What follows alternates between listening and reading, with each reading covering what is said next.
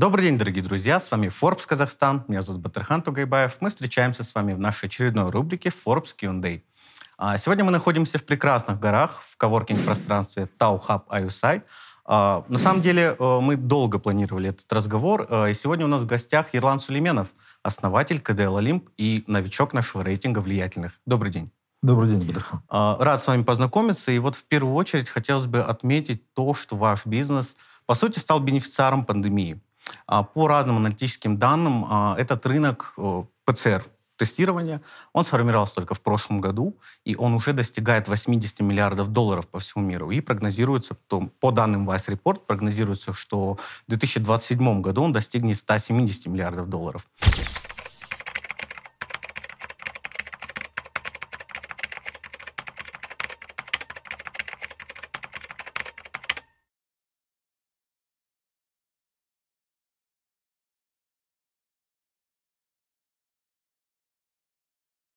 Расскажите, как так случилось, что вы начали развивать КДЛ Олимп?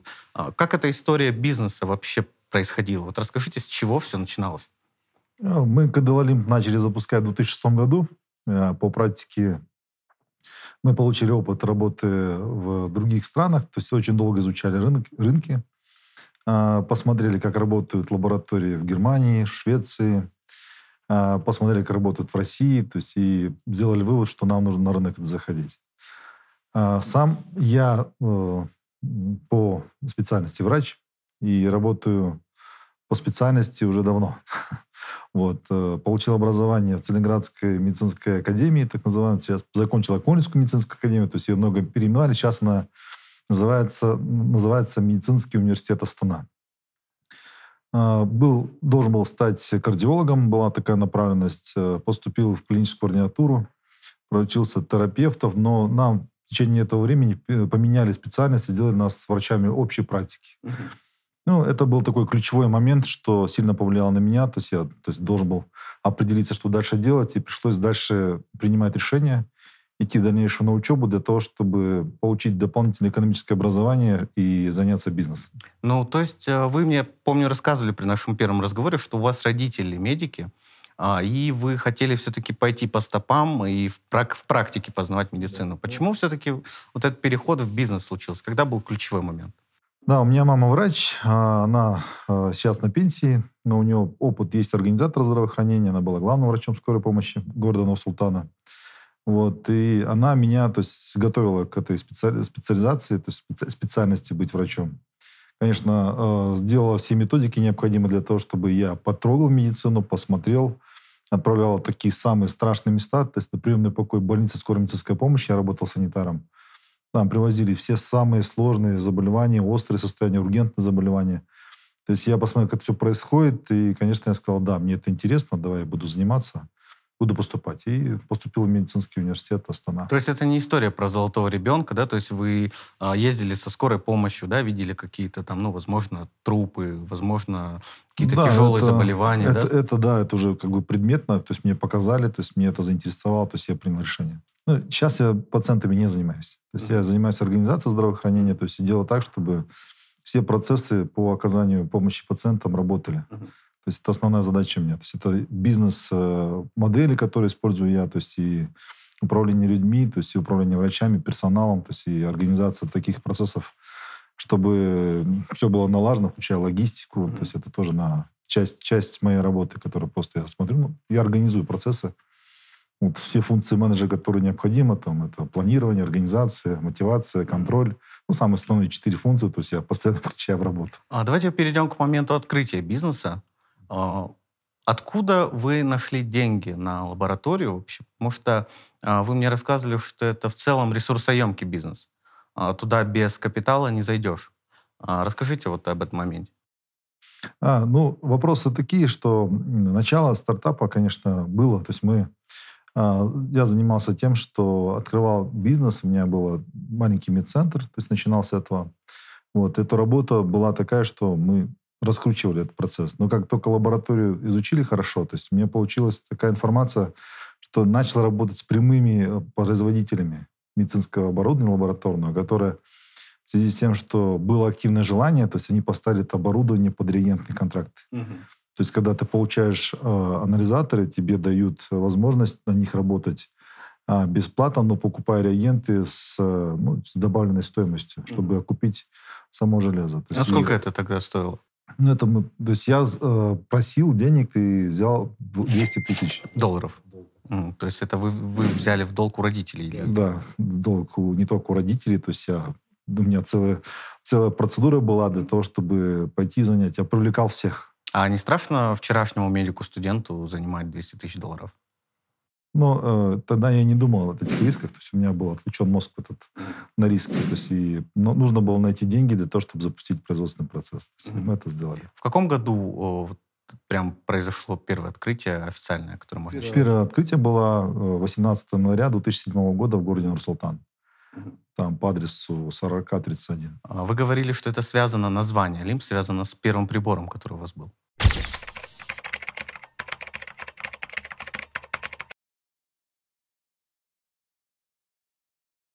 Да, то есть один из приборов назывался компания Olympus. Они, конечно, это подразделение продали американской компании Beckman Culture, но он назывался Olympus, Япония. То есть э, он очень понравился нашим лаборантам, врачам-лаборантам, которые э, вот в процессе выбора, как лабораторию назвать, они предложили, давайте назовем ее Олимп. Mm-hmm. Название понравилось, то есть мы его прикрепили, сказали, все, ну пусть будет Олимп. И сразу разработали логотипы, бренды, то есть миссию, возможно, нас смотрят начинающие бизнесмены, да, которые интересуются сферой медуслуг или сферой лабораторных исследований. А, давайте попробуем разобрать по порядку, с чего, что стоит знать предпринимателю, прежде чем заходить в этот бизнес. Когда я заходил в этот бизнес, то есть не было никакой информации. То есть у нас был налоговый консультант, который мог тебе сообщить о всех налоговых изменениях, которые тебе нужно выполнять и делать для того, чтобы ты работал. Вот. Сейчас э, Национальная палата предпринимателей позволяет начинающим бизнесменам запустить производственный процесс свои, то есть начинать бизнес с помощью э, программ по обучению. Есть там очень много обучающих программ, то есть есть э, специальная поддержка для начинающих предпринимателей, то есть есть э, специальные коучи, которые то есть, обучат и проведут тренинги. И ты получишь больше информации, то есть тебе стартовать намного легче по сравнению с предыдущим периодом времени. Uh-huh. Когда я э, начинал работу, то есть я получил сразу же штраф от, налог, от налогового инспектора, потому что я зарегистрировался там 27 октября. Вот, я думал, ну, раз 27 зарегистрировался, то есть я там за ноябрь, то есть отчет сдам там в декабре. А мне нужно было за октябрь, за, за три дня октября, то есть сделать отчет. Угу. И после этого я пришел в налоговый комитет, то есть вот спустя месяц она мне, давай штраф тебе выпишем. Сколько вы? Я не помню цифру, но это было в МРП, то есть это, да, то есть мне, я, я был ошарашен. Но это стимулировало меня после этого, что с налоговым комитетом надо четко срок выполнять эти задачи. Но вы вообще ощутили на себе ту историю, когда предприниматели говорят, что на начальном этапе, какой бы там успешный ни был бизнес, его могут кошмарить, приходить с проверками, да, что-то требовать, что не надо требовать. Вот вы с этим сталкивались? Тем, Нет, тем более, меня... кстати, тогда вы говорили, что рынок не был сформирован вообще. И для регулятор, регуляторных органов это была новинка. Ну, что касается, видите, у меня был первый старт, я начинал функциональную диагностику заниматься. То есть это были такие маленькие приборы, которые человек носил. Я, конечно, да, то есть я их привез с Санкт-Петербурга, не даже там регистрации у них не было в РК. То есть, ну, я выполнял эту процедуру, то есть получил медицинскую лицензию на выполнение данной деятельности у меня все были разрешены документы, это все выполнял. То есть и особых требований ко мне не было, потому что я работал быстро, то есть и все требования выполнял, старался. А вот. Э, Здесь в лабораторной диагностике начинающих, да, то есть были такие моменты, когда мы сталкивались с тем, что меня проверяли. Но в связи с тем, что не было регуляторных механизмов, то есть у нас не было нормативного правового акта по санэпид лабораториям, то есть э, мы не смогли ничего сделать, претензий ко мне предъявить. То, то есть фактически тогда, После... так, тогда могли появляться любые кустарные лаборатории, и никто да. за это не мог бы ничего спросить. Да, то есть теперь уже на этом этапе, когда мы развиты, то есть есть очень высокая конкуренция, большое количество новых технологий внедрено по лабораторной диагностике, и уже прописаны нормативно-правовые акты, здесь намного тяжелее работать, потому что сейчас вот с введением новой технологии тебе нужно некоторые нормативно-правовые акты менять, то есть просить, то есть вносить, изменения через палату, национальную палату, чтобы Министерство здравоохранения откорректировал, то есть и мы могли нормально работать. Угу. А, уже а, производственный процесс другой. В ваших активах э, много разных бизнесов, но все они так или иначе связаны со сферой медуслуг. Это оборудование, это клиники, а, ну и в том числе и лаборатории. Вы в самом начале делали ставку на КДЛ Олимп или вы делали ставку на клинику? Да, мы сделали ставку на КДЛ Олимп. То есть попробовали ее в шестом году, запустили, то есть она стрельнула. Дальше мы начали тиражироваться. Перешли в Караганду, другие регионы, то есть и там дальше процесс производственный пошел. Вот начинающим бизнесменам, которые собираются это делать, запускать свои бизнесы, то есть я порекомендую довести свой бизнес до тиражирования, чтобы можно было сделать тираж. Но для этого нужно провести работы по стандартизации производственных процессов. Нужно прописать все процедуры, которые у тебя есть внутри предприятия твоего, то есть своей деятельности, чтобы все стандарты были прописаны, то есть как ты будешь обслуживать клиента. Плюс еще рекомендую взять стандарт международный какой-нибудь, который у тебя есть, любой стандарт по твоей специальности. Вот у нас есть стандарт ISO 15179, который мы взяли для того, чтобы выполнять процедуры производственные для обеспечения качества обслуживания. То есть, и мы его тоже довели до совершенства, провели аккредитацию. Но для, для начинающих можно сделать так, чтобы а, ты к нему готовился, то есть смотрел на него, то есть брал, обучался, внедрял, и уже когда ты будешь готов, ты мог взять, э, провести аккредитацию. То есть это очень такой мощный показатель имиджевый для того, чтобы привлечь клиентов к себе. Вот после этого тиражирования у нас все пошло.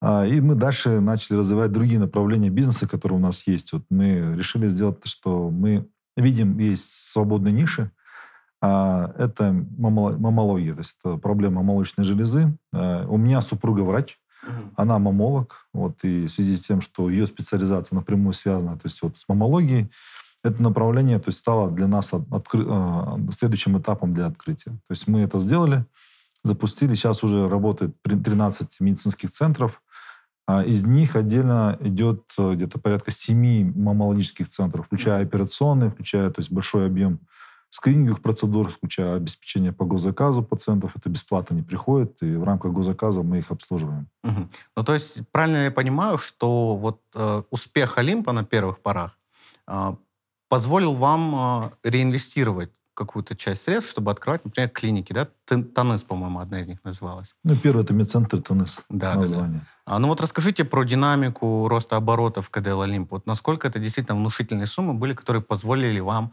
а, открывать другие направления? А, ну, мы начали с э, процедуры, то есть и мы видели небольшие росты оборота, то есть, ну, все равно для нас это было достаточно большое. То есть мы просчитали, что средний рост годовой у нас достигал 30%. То есть мы всегда прирост, приростом 30% шли. В некоторых годах у нас было, доходило до 50% роста, то есть за счет того, что мы осваивали рынки. Э, большая часть э, исследований то есть переходила от государства к нам. Появлялись э, проекты по ГЧП, то есть это направление связано с передачей в доверительное управление, либо там на аутсорсинг лабораторных исследований от государственных поликлиник и стационаров. И чем больше мы выполняли объемы, соответственно, тем больше доходной части у нас становилось. Э, у нас э, прямая связь э, с реагентами. Если мы выполняем большое количество исследований, соответственно, нам производители дают больше скидки. И вот за счет вот этих скидок, то есть возможность сделать рост, инвестировать в новые направления. А весь бизнес лаборатории поставлен на реагентах, расходных материалах, потому что не их нужно покупать, оборудование ты можешь не покупать, но реагенты покупать обязан.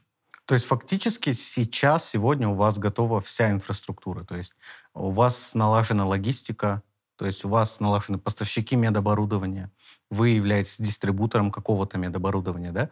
А, и кроме того, у вас есть партнеры по реагентам, то есть вы можете полностью, а, скажем так, консервированном ритме работать, не связывать да, с другими какими-то компаниями в Казахстане.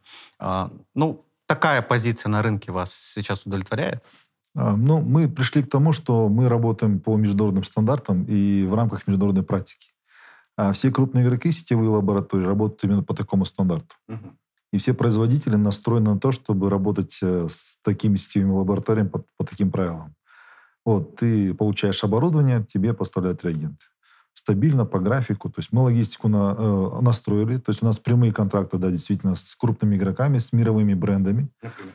Ну, такие как Roche, Abbott, там, Beckman Coulter, Sysmex. Э, ну, еще там очень большая линейка производителей, там, включая французов, американцев, даже китайцев. Китайцы тоже очень хорошо работают и производят очень хорошие по линейкам своего качества оборудования и реагенты.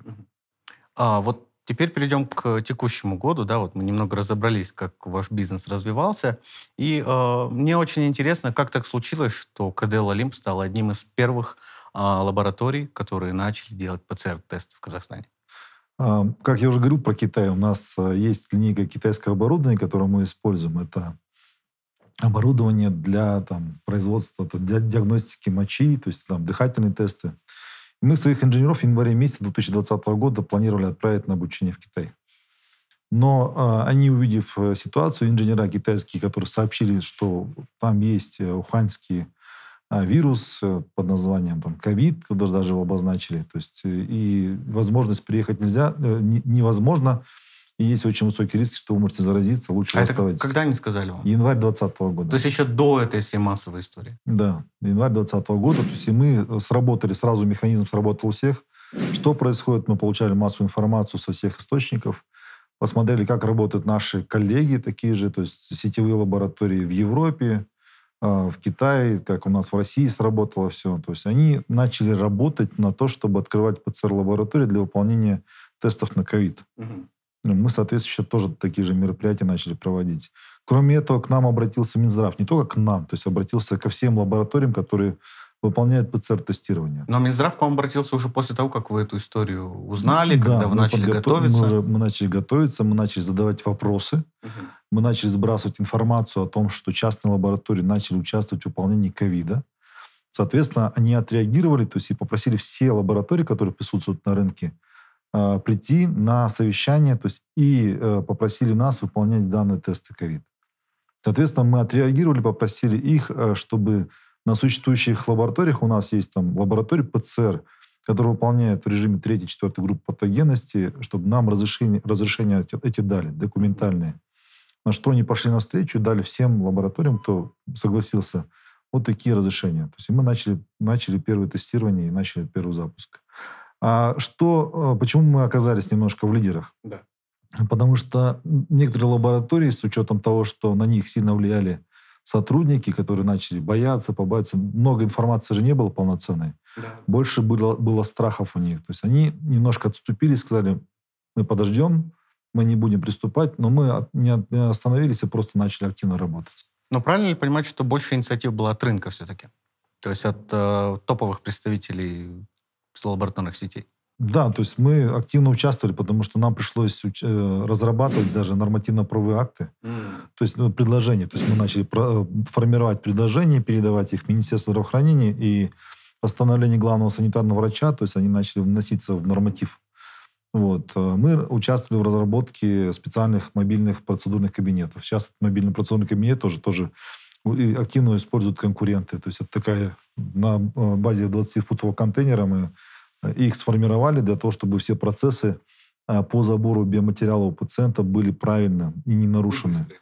Они быстрые, да. То есть таких процедурных кабинетов мы по, по, по многим регионам поставили большое количество. Кроме этого, мы были вынуждены сделать модульные ПЦР-лаборатории, отдельно стоящие, которые позволяют то есть, изолированно выполнять процедуры ПЦР. Угу. Это тоже было внедрение. Кроме этого, мы сделали много а, внедрений по новым технологиям, потому что до сих пор сейчас, вот до сих пор мы уже запустили, ПЦР-тестирование, мы все равно новые технологии по ПЦР-тестированию у себя тестируем, разрабатываем, чтобы опять внедрить на территории Республики Казахстан. Потому что ковид дает э, много работы для всех. И он мутирует.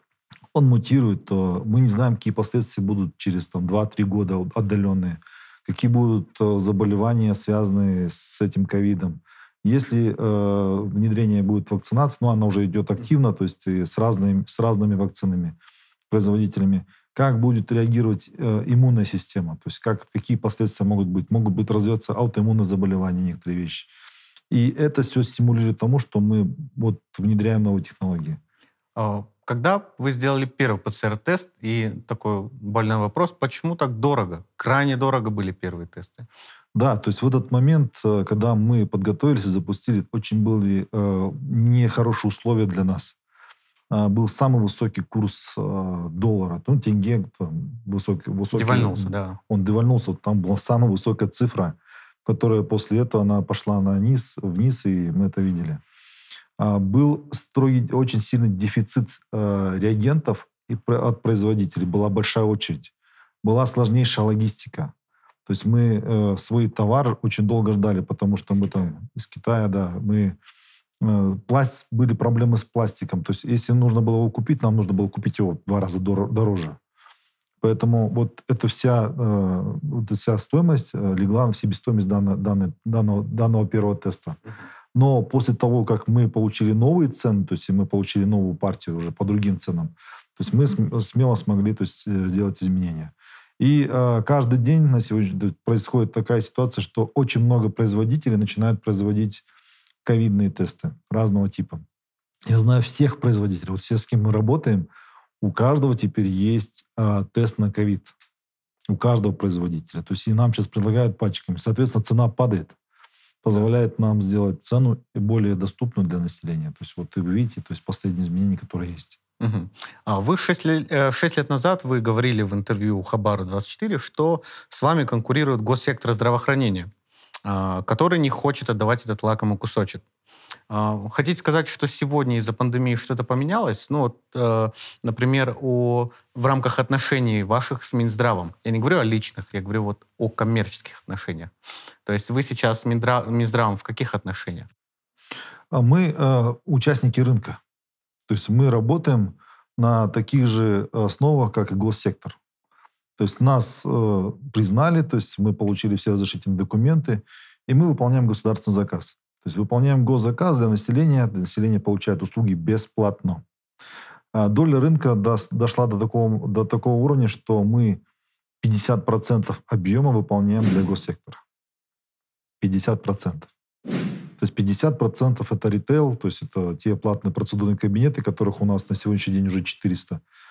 То есть мы э, перешли на то, что доля будет расти государственного объема. Угу. Потому что страховая медицина сделала свои корректировки. То есть люди начали платить э, со своего кармана, то есть работодатель тоже платит э, за страховую медицину, и пациенты начинают требовать свои тесты бесплатно в рамках гарантийного объема бесплатной медицинской помощи в рамках УСМС, вот именно страховой медицины. Угу. А были ли трудности какие-то в коммуникации с Минздравом вот в критические мартовские месяцы, когда, а, ну, на самом деле была хаотичная обстановка, никто толком не понимал, а, что делать, какие нормы разрабатывать, как вводить эти ПЦР-тесты, у кого их заказывать? Трудностей, трудностей не было. То есть они, э, мы договорились о том, что мы выполняем исследования. Их задача была, чтобы мы максимальное количество тестов начали выполнять чтобы была доступность. Вот в этот период времени Национальный центр э, экспертизы, э, санэпидэкспертизы имел свои лаборатории, но имел прямые проблемы с поставками, там логистика была нарушена. Не всегда э, они получали расходные материалы, то есть и когда мы запустились, это было то есть, достаточно сильное влияние, то есть мы помогли государству то есть, сделать так, что а, часть объема начали выполнять для, для, для госсектора и для въезжающих там а, часть сектора мы а, покрыли. А, трудности были с местными акимами, которые там нас вызывали чуть ли не каждый день на совещание, то есть спрашивали у нас отчеты, то есть э, все ли у нас в порядке, то есть объемы справляемся, не справляемся. Вот это было некоторая ситуация, даже давление, то есть доходило до а, казусов, связанных с тем, что неправильная информация подавалась им про нас. Вот, и нас, и нас пытались ругать. Ну что мы, почему не выполняем объем исследования? То есть наша мощность была заявлена такая, то есть угу. по факту меньше. То есть а по факту мы выполняли тот же объем, который заявили, но подача информации была разная. Поэтому приходилось напрямую встречаться прям в зуме с акимами там, городов, там, городов Алматы, городов Астаны, общаться, разговаривать и рассказывать информацию о нашем, нашей работе. Угу. Поговорим сейчас э, по немного форбсовской теме, по э, показателям финансовым. Э, в 2019 году э, я уверен, что вы были меньше гораздо. Э, как за пандемию вы выросли и в количестве лабораторий, и в обороте компании? Вот расскажите об этом. Ну, ковид на нас сильно повлиял. То есть у нас э, в период э, локдауна то есть произошли изменения, связанные Э, не в лучшую сторону связано с тем, что поликлиники были закрыты, доктора были ограничены, пациенты то есть, взаимодействовали путем телекоммуникаций, там, с мессенджеры, либо то есть, WhatsApp, вот, связь. И направление резко снизилось. То есть мы получили, информацию, получили такой объем, что закупленные реагенты у нас ушли на просрочку, мы потеряли большой объем реагентов. То есть вот это тоже был такой период, когда ты по плану закупаешь, и потом ты не можешь их использовать, потому что реагент не принимается на борт. Это большой минус был? Ну, это существенный минус для нас был. Но в связи с тем, что мы запустились на ковид, а, мы а, смогли компенсировать все затраты, которые мы потеряли на и вышли, конечно, то есть прирост он двукратным. Если мы 30% росли, то сейчас прирост это показал 60%. Угу. А если в цифрах, чтобы такой дзынь здесь, цифра появилась какая-то? Ну, э, цифру не могу сказать пока сейчас, не могу вспомнить. То есть это, эти, эти объемы. То есть, но они, но они достаточны. То есть, как э, некоторые по ощущениям говорят, то есть их достаточно для того, чтобы то есть, показать, что мы действительно.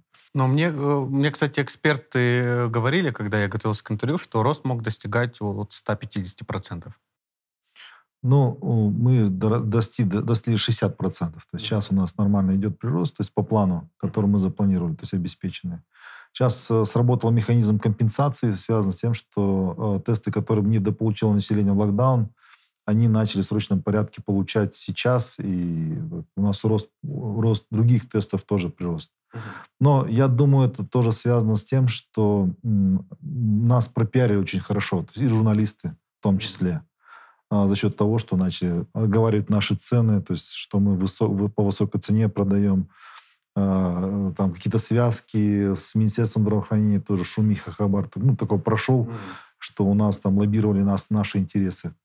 Вот это не обосновано. Это не обосновано. То есть это мы работаем, мы выполняем свою работу, и вот недавно, то есть у нас тоже есть не а, специалисты, то есть как называемые блогеры, то есть которые громко прокричали, что мы там виноваты в чем-то. На самом деле, то есть после, после нашего с ним разговора, то есть он сказал, что я просто посты сейчас убрать не могу, но они уже, то есть они бы были пере, их пере, перепостили, как другие журналисты, поэтому пусть остается. Ну, я говорю, ну хорошо, но следующий раз, если будете писать, вы спросите у меня, то есть я вам все четко расскажу, как это было. На самом деле, вы выслушаете мое мнение. То есть а, писать без общения с а, непосредственным с руководителем Олимпа, это неправильно. То есть лучше, лучше как бы правильно сделать. Но за счет этого произошла реклама, то есть люди начали узнавать о нас больше. Черный пиар тоже пиар. Это тоже пиар. То есть и сейчас люди, конечно, в рамках ковида заботиться о своем здоровье, потому что некоторые, кто перенес ковид, они почувствовали, что организм то есть, начал давать сбои и э, начали активно мониторить свое здоровье. То есть они стали часто сдавать анализы, показатели, смотрят, мерят. Вот, и таких людей становится все больше, то есть тем более спортивный образ жизни, то есть здоров... забота о здоровье, то есть э, позволяет людям то есть, как бы смотреть за своим здоровьем, мониторить эти параметры. Таких людей становится больше. То есть и не только у нас, и у наших э, конкурентов прямой рост. Прямой рост идет, и мы видим, что то есть этот, этот рынок будет еще расти. Получается, за год пришло как минимум более миллиона новых клиентов, да, которые э, делали ПЦР-тесты, и при этом часть из них осталась клиентами э, КДЛ Олимпа, которые регулярно делают какие-то тесты, и вы вот еще и на них сейчас, э, скажем так, зарабатываете, по сути. Да, мы э, предоставляем услугу клиенту такую, чтобы он мог к нам вернуться. То есть это основная задача, потому что э, сейчас потребность рынка какая? То есть в ковиде не только э, забота о своем здоровье, но и поездки. То есть сейчас открылся рынок, очень много стран, которые теряли туристов, они вынуждены сейчас создать условия для того, чтобы наши туристы к ним поехали. И мы видим тенденцию, что кому-то нужно за рубеж, очень много поездок, выездов. То есть, и вот именно эти пациенты сейчас дают на ПЦР для того, чтобы поехать. Э, кроме этого, э, ужесточились требования в, при переговорах. То есть у нас есть там партнеры, которые требуют обязательно ковид-теста для того, чтобы поговорить с кем-то, пообщаться в режиме э, офлайн. И есть госорганы, которые выставляют требования обязательно, что если ты хочешь там прийти на прием, пожалуйста. То есть mm-hmm. вот таких тоже много требований, которые выставляют и госорганы. И mm-hmm. приходится людям сдавать. То есть это расходы их, то есть, конечно. Да, вы вот отмечали про вот этот вот э, там, какую-то инсинуации, связанные с блогерами, да, с какими-то постами. А, но, с другой стороны, э, как вы думаете, может ли это быть все-таки обосновано с той точки зрения, что вы работали в системе Минздрава? Ну, это было у меня давно, потому что мы 14 лет как уже на рынке. То есть, соответственно, то есть все, что там было связано, то есть это было давным-давным-давно. Есть... Ну, разве нет такого, там, Баке, мы вместе работали, такого? Нет, мы это не используем. То есть мы сейчас перешли, то есть у нас очень много интересных моментов, связанных с тем, что к нам выставляют требования все наши производители изделий медназначения, реагентов, оборудования. То есть мы с ними проходим жесткие требования по комплайнсу. То есть их требования то есть, переходят на нас, и то есть мы эти требования выполняем. Минздрав к вам относится как э, к подчиненному или как к партнеру? У нас нет отношений с Минздравом. Ну, все равно есть. Они, они мы, есть, так или иначе они а, существуют. Существует, э, что мы участники рынка. То есть обычный участник рынка. То есть с нами, конечно, нужно считаться, потому что доля, мы лидеры. Сколько? Но лидеры в лабораторной диагностике у нас там, порядка 35% на сегодняшний день. То есть мы лидеры, то есть по количеству выполняемых исследований, то есть по все, что мы делаем, то есть по количеству контактов, они смотрят на нас. Новые технологии внедряем, они смотрят на нас.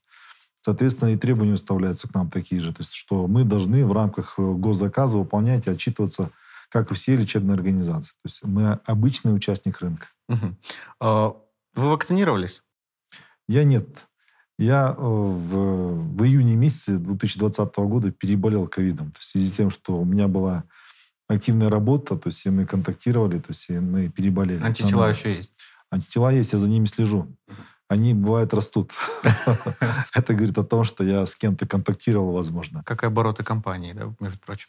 А, а, знаете, а, про вакцинирование очень интересно поговорить с той точки зрения, что сейчас вот на мировом рынке очень много разных компаний, которые эту вакцину делают, и они находятся на разных этапах верификации этой вакцины. Расскажите о том, а, будет ли а, КДЛ Олимп, будут ли ваши компании заниматься коммерческой вакцинацией. Ну, то есть э, Цой сейчас сказал, что пока нет, но этот вопрос на контроле. Как вы сейчас с Минздравом на этот счет, э, ну, о, чем вы говорите? А, мы на сегодняшний день э, пока вакцинацией не занимаемся, то есть наша задача в другом. Готовить пациентов к тестированию для того, чтобы определять, то есть будет, есть ли у него антитела, нужно ему ли вакцинироваться, если он вакцинировался, есть ли у него антитела на вакцину. То есть это наша такая работа. А что касается вакцинирования, то есть я в целом свою позицию выскажу, то есть она у меня простая, то есть если э, есть вакцина, нужно их вакцинировать. То есть я сторонник вакцинации для того, чтобы защитить население и сделать иммунизацию, довести иммунизацию до 80%. Это позволяет сделать вакцинация. То есть очень серьезный инструмент, а, который регулирует именно заболеваемость он позволит э, снизить ее и сделать так, чтобы, если, например, после вакцинации человек даже заболеет, такое тоже возможно. То есть он перенесет ее без осложнений. Угу. Это позволит любым там с, защи, незащищенным, то есть или там есть рискованная группа населения, которые болеют там хроническим заболеванием, то есть или имеют э, старшую возрастную группу, э, заболеть. То есть и они могут, они в зоне риска находятся. Вот для них в первую очередь вакцинация нужна.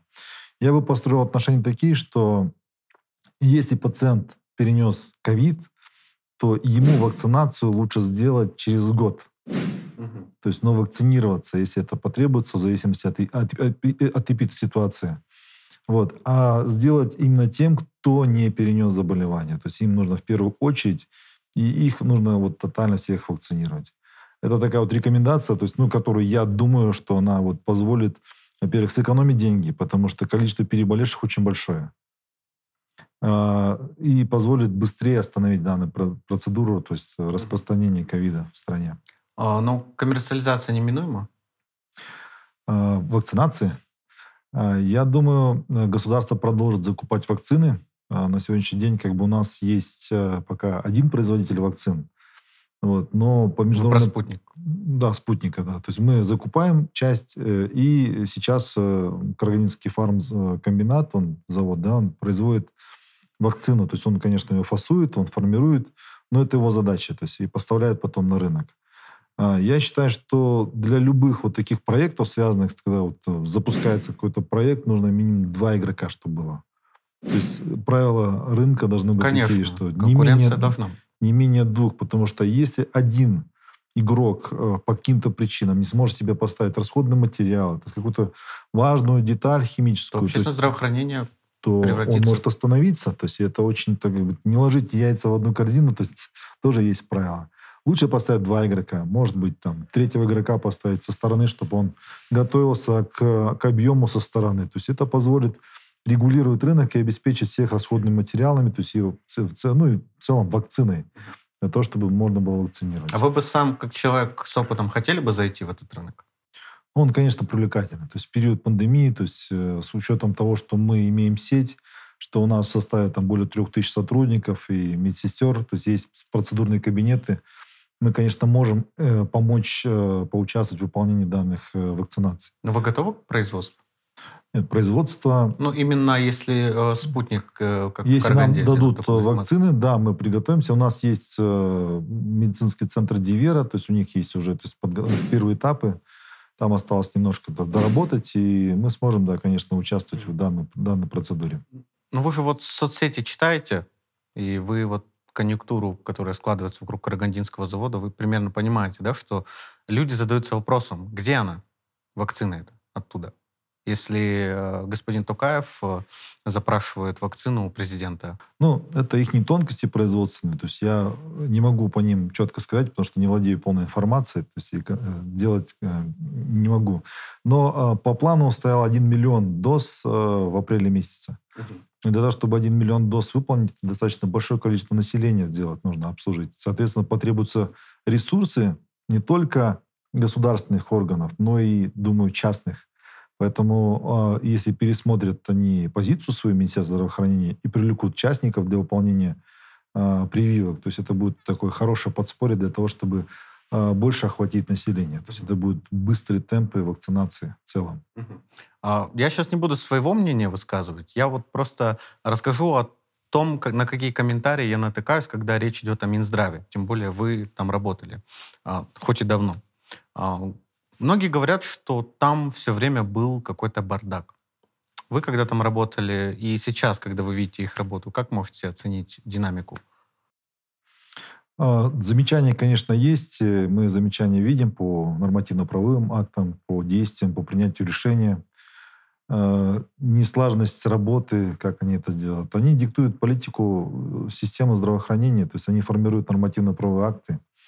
И это основная задача, конечно. бы. Есть моменты, где нужно усилить работу именно в кадровом потенциале, потому что есть ключевые звенья, ядро Министерства здравоохранения, которое занимается лечебной работой, и оно достаточно сильно проседает. И вот, этот, вот это ядро именно лечебного, лечебного дела нужно усилить. То есть, ну, это кадрово нужно сделать так, чтобы были более профессиональные люди. А, Рубрика «Три совета Цою». А, Что вы можете посоветовать э, нынешнему министру здравоохранения? А, Я советовать... Я понимаю, что должность а, стратегическая. То есть у него должность стратегическая, да, у него очень высокая ответственность, тем более он пришел в период именно ковида, где нужно разруливать именно большие объемы, большую, большую работу проводить для того, чтобы а, сделать так, чтобы наша пандемия то есть, ну, превратилась в обычный очаг и исчезла. Вот.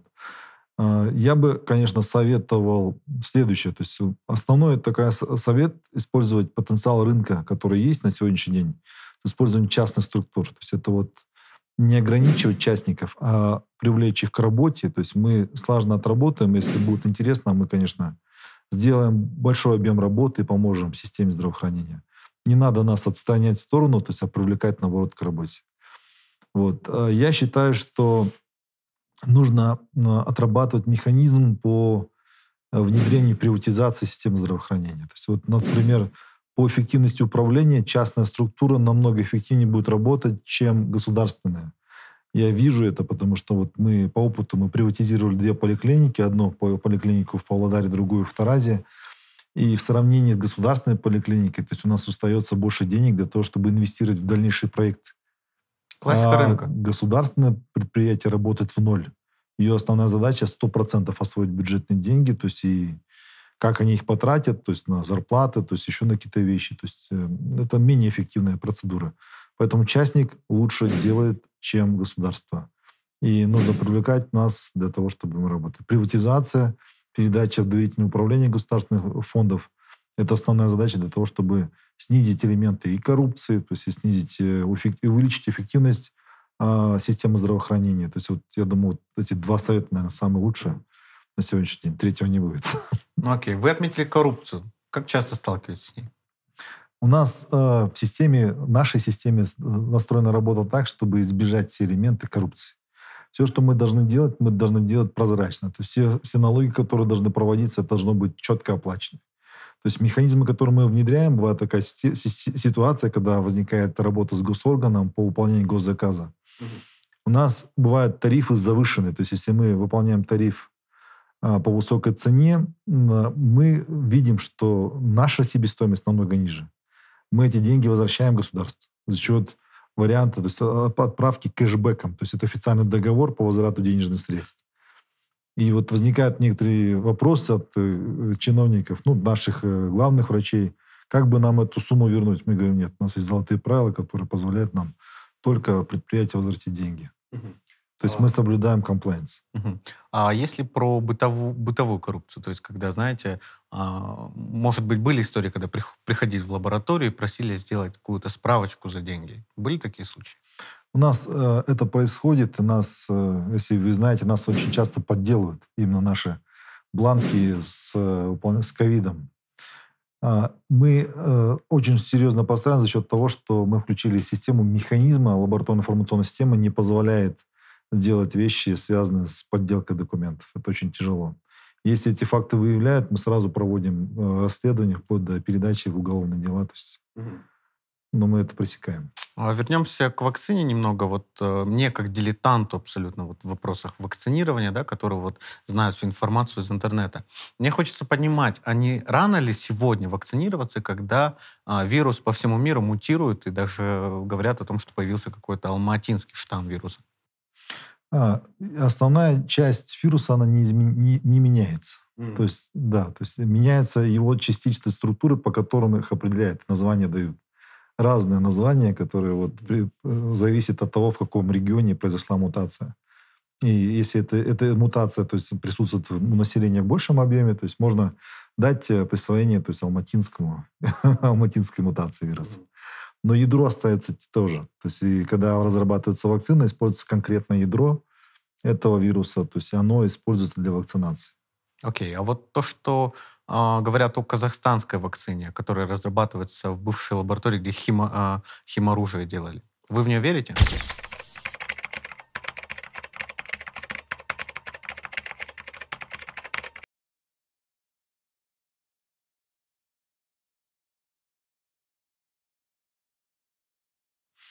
Я знаю очень много вакцин произведенных. То есть у нас э, есть партнерские отношения с компанией Тесген. Они тоже разработали вакцину. У нас тоже есть вакцина, то есть МРНК, то есть это модифицированная РНК, то есть цепочка и синтезированная, то есть ее можно тоже внедрить. Такую же э, технологию используют другие производители. Поэтому э, все вакцины работают, но основная задача в том, что они должны пройти все клинические испытания. Если доклинические пройдены, клинические пройдены испытания, то можно ее внедрять и использовать. Конечно, я верю. То есть это позволяет нам сберечь население. Иван Мельцевич, а зачем вы пошли на праймерис? А, э, у меня есть э, спортивный дух, который бывает э, позволяет мне быстро двигаться. То есть я решил попробовать это направление праймерис, как оно выглядит, что можно с ним сделать, потому что это новое направление праймерис. Это не те классические выборы, которые были раньше, то есть это уже другой механизм. Для того, чтобы э, понять, как он работает, нужно в него нырнуть, оценить, изучить, посмотреть, возглавить или там как-то сделать по-другому и оценить.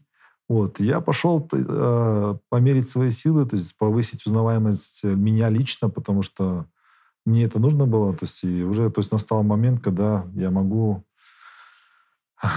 свои усилия, то есть как личного бренда, развить свой, как, развить свой личный бренд. И мне это нужно было для того, чтобы тоже попробовать померить силы. Но, с другой стороны, у вас есть должность в НПП «Атамекен», которая все-таки имеет влияние. Вы можете помогать бизнесу, вводя какие-то инициативы, да? А, и, в принципе, для хорошего казанского бизнесмена, возможно, это было бы и достаточно иметь такой механизм. Ну, по праймерис я это оценил. То есть я оценил свои возможности праймерис. Я посмотрел, что такое праймерис я посмотрел, с какими проблемами я буду сталкиваться. То есть и принял решение, что по результатам праймерис, то есть я остановлюсь и буду дальше работать в этом направлении. Я лицо беспристрастное, я отношусь одинаково ко всем, но давайте про, поговорим про чувство несправедливости. Смотрите, э, вы казахстанский бизнесмен. А, можно сказать, что вы помогаете людям, потому что ваши лаборатории помогают людям распознать, какие заболевания у них есть. А, у вас большой опыт, вы работали в Минздраве, у вас большие связи. А, но депутатом стали не вы, а молодой Мади Ахметов, мой ровесник, условно. Просто абстрактный пример. Нет чувства несправедливости. Почему именно так? Почему 25-летний бывший студент оказывается депутатом, который вершит какие-то законотворческие вопросы, да, а вы нет? У меня чувство несправедливости здесь не сработало. Здесь нормальный механизм, то есть выбрали, выбрали сильнейшего, то есть все прошло. То есть я понимал, я понимал, на что я иду, поэтому когда праймерис произошел, то есть я был рад очень, что я дальше не прошел. Потому что какие усилия нужно будет применять для работы именно депутатом. Это высокая ответственность, это много социальных проблем, это разные слои населения, которые тебе будут обращаться. Это нужно решать те проблемы, которые выходят за, грань, за грани бизнеса моего. И здесь, конечно, будет отвлекаться максимальное количество энергии, ресурсов твоих личных для того, чтобы здесь участвовать. Я понял, что это рано для меня. Рано, то есть вы не закрываете двери? Нет, не закрываю. Я просто оценил, что я могу это делать. Я знаю, над чем работать. Я знаю, какие следующие шаги я буду делать. Ну, еще будете пробовать. Ну, я, конечно. А, ну, в заключение поговорим про текущую обстановку в Казахстане, связанную с ковидом. Как вы ее оцениваете и что вы прогнозируете в ближайшее время? Ну, сейчас идет э, рост заболеваемости. Очень высокие эти показатели мы видим по выполнению лабораторных исследований. У нас, во-первых, выросло количество исследований и вырос, э, выросла выявляемость. Ну, взять вот Алмату, э, по Алмате прирост из объема, который мы выполняем, то есть вот э, где-то в среднем 14% положительных, позитивных. Если до этого было там 6-7%, там еще ниже было 3%, то сейчас 14%. Это высокая заболеваемость. Это говорит о том, что на сегодняшний день люди стали более активно общаться и друг друга заражать. И здесь надо постараться каждому человеку все-таки соблюдать стандартные процедуры, которые у нас есть. Маски, обработка рук, режим общения, то есть сделать так, чтобы меньше контактов было. И тогда мы сможем немножко прекратить э, риски, что пациенты, которые у нас находятся в зоне риска и не заболеют, что они могут получить очень серьезное осложнение. Вот, рост идет. А, ну, меня очень часто спрашивают, пишут, Баттер, спроси, Баттер, спроси. А, сколько вы зарабатываете? Ну, мне достаточно. То есть достаточно, достаточно денег для того, чтобы... Э, я получаю зарплату. Э, у меня есть зарплата по трем предприятиям. Ну, от, давайте от. А, ну, достаточно денег просто. Я, если буду афишировать, будет некорректно. А с другой стороны, если будете афишировать, молодой предприниматель подумает, блин, слушайте, может реально заняться этим бизнесом? Смотрите, какой бизнесмен влиятельный. Но если я скажу, что у меня есть зарплата, что у меня есть э, получение доходов по авторским правам, то есть это тоже доходная часть. И у меня еще распределение в конце года дивидендов по результатам деятельности предприятия. То есть это будет интересно для каждого предпринимателя, то есть иметь доход. Но все предприниматели работают для того, чтобы получать прибыль. Да. Они должны делать так, чтобы им хватало то есть на развитие, на жизнь, на семью, да и на дальнейшее вложение. То есть это основной принцип, основной принцип принцип получить свободу. То есть принцип такой, чтобы у тебя была свобода на перемещение, на движение. Mm-hmm. То есть у бизнесмена то есть такая ответственность. Он работает 24 часа, он, он отвечает за все, отвечает головой за все. Так что у него всегда есть риски. И эти риски должны окупаться. То есть вот. Вы наш список богатейших читали? Конечно. Рано еще вам? Мне рано, да, еще рано. Насколько? Наш бизнес не такой, как недра Казахстана. То есть мы не сидим на источниках, которые, которые у нас есть, а другое, другое направление. Но если будем активно развиваться, новые технологии внедрять, мы, я вкладываюсь в новые направления, то есть разработки э, новых ПЦР-тестов, э, вкладываюсь в новые технологии, поэтому они как ноу-хау должны стрельнуть. И это будет другой разговор, когда мы с вами встретимся, я думаю. С вами был основатель КДЛ Олимп Ирлан Сулейменов и журналист Forbes Казахстан Батархан Тугайбаев. Читайте Forbes Казахстан, смотрите Forbes Казахстан и подписывайтесь. Всего доброго. You are